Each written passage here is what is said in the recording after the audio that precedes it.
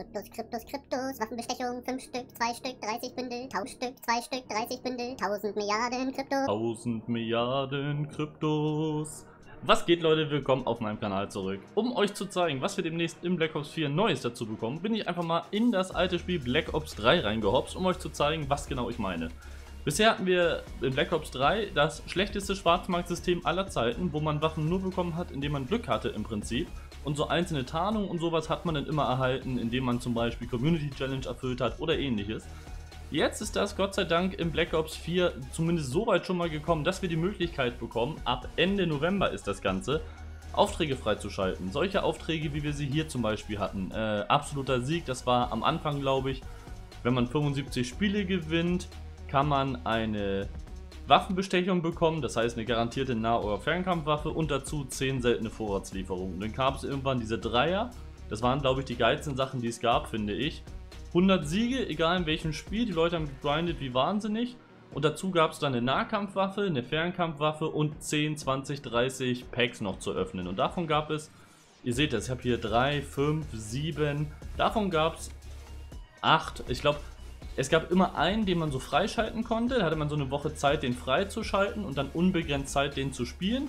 Und einen zusätzlich konnte man immer kaufen. Und sowas in der Art, ich blende euch das gleich mal ein, kommt jetzt auch in Black Ops 4 demnächst. Das heißt, wir werden solche Aufgaben hier haben.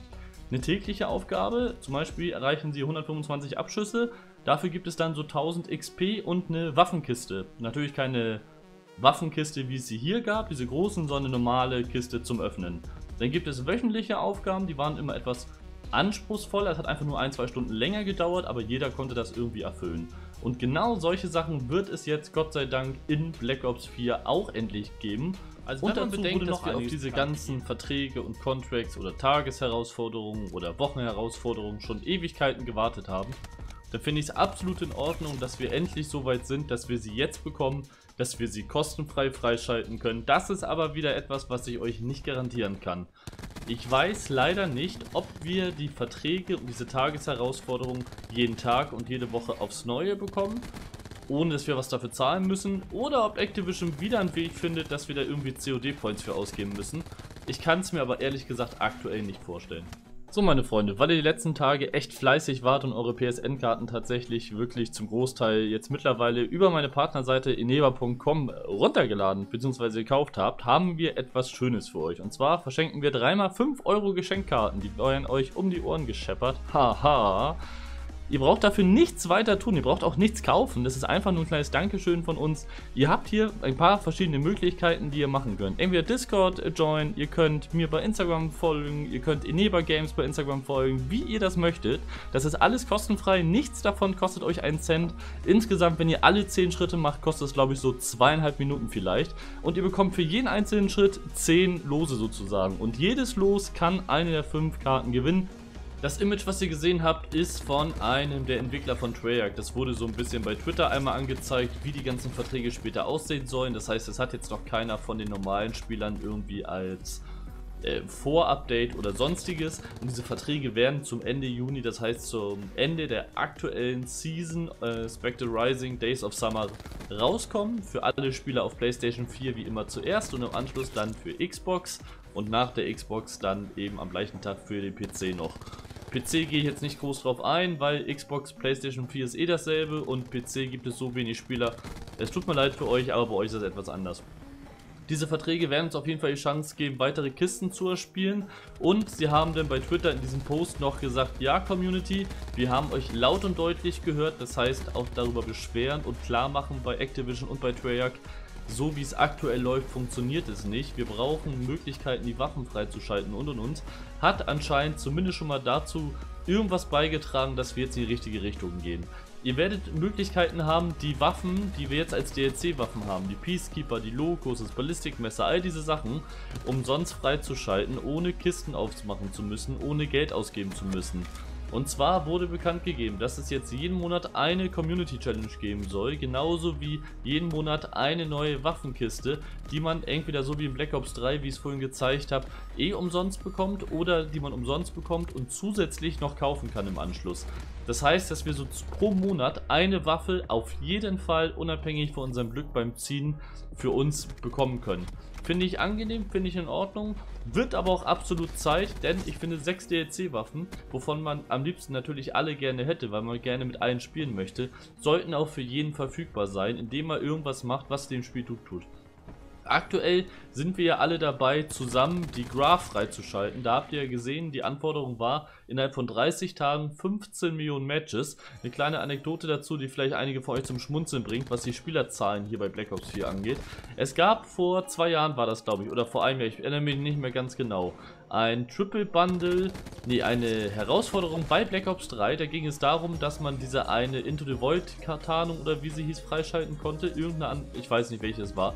Dazu sollte man, ich glaube, 20 Millionen Matches in 20 Tagen spielen. Diese 20 Millionen Matches waren nach 6 oder 7 Tagen bereits fertig und gezählt haben PlayStation Xbox zusammen.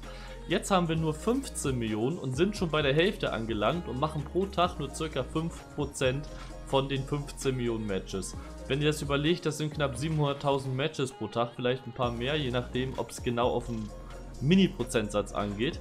Das, Leute, ist mehr als enttäuschend, mehr als traurig und keinem, außer den Verantwortlichen bei Activision und Rare, kann man dafür die Schuld in die Schuhe schieben. Aus dem einfachen Grund, dass wir in den letzten Monaten auch wirklich wenig Grund dazu bekommen haben, mehr in dieses Spiel zu investieren an Zeit, als irgendwie notwendig, um das zu bekommen, was wir haben wollen. Vielleicht geht es jetzt in die richtige Richtung. Die Verträge werden für jeden frei verfügbar sein am Anfang. Das wird die erste Horde sein und danach die Wochen, wie ich eben schon gesagt habe, müssen wir abwarten, ob wir da immer noch das richtige Zeugs bekommen oder nicht. Wenn ihr jetzt aktuell, das ist ein guter Tipp, kurz vor Level 25 seid und eure Waffenkiste noch nicht geöffnet habt, kann ich euch nur empfehlen, macht es clever, macht es intelligent und behaltet sie erstmal, auch wenn es schwierig ist, weil ihr unbedingt eine neue Waffe haben wollt. Behaltet erstmal noch die 14 Tage, bis die neue Operation mit dem neuen Update und den neuen Waffenkisten kommt und die neuen Tagesherausforderungen, weil ihr doppelte Chance habt, mit eventuell mit der Waffenkiste von jetzt noch mehr rauszubekommen als aktuell. Das hat einen einfachen Grund. Ich kann mir vorstellen, dass mit dem neuen Spezialisten, ich vermute es wird der Reaper, da gibt es keinen Leak zu, aber es macht einfach Sinn jetzt, dass der Reaper demnächst reinkommt. Und ich vermute ganz, ganz stark, dass es so ausgehen wird, dass wir wieder ein oder zwei neue Waffen in der neuen Operation bekommen und mit den Herausforderungen, den Tages- und Wochenherausforderungen relativ zügig die Option bekommen, eine Waffe, eine weitere Waffe freizuschalten. Wenn ihr so lange wartet, habt ihr wahrscheinlich auch das Glück, dass ihr mit der anderen Operation eine Waffe freischalten könnt und mit dem Grind, den ihr bis dahin habt, habt ihr natürlich auch noch ein paar Waffenkisten. Und mit ein bisschen Glück könnt ihr dann eventuell aus den normalen Waffenkisten noch eine DLC-Waffe ziehen, also eine von den 6 neuen, und könnt dann eure Waffenkiste, die ihr jetzt bei Level 25 bekommt, auch noch nutzen. Das ist nur ein Tipp, das kann klappen. Im schlechtesten Fall habt ihr zwei Wochen gewartet, bis ihr eure neue Waffe habt. Im besten Fall zieht ihr noch ein oder zwei Schrott-DLC-Waffen, die ihr vielleicht gar nicht so unbedingt haben wollt und habt dann mit eurem Waffenbündel bei Level 25 zumindest eine garantierte Waffe. Das ist auf jeden Fall schon mal ein Schritt in die richtige Richtung für das Spiel. Es wurde auch angekündigt, dass man noch viel, viel mehr jetzt dazu hinzufügen möchte. Man möchte viel mehr Optionen einbauen, dass wir als Spieler neue Waffen, neue Kisten und Gaming Rewards, also im Prinzip Belohnung für das Zocken freischalten können.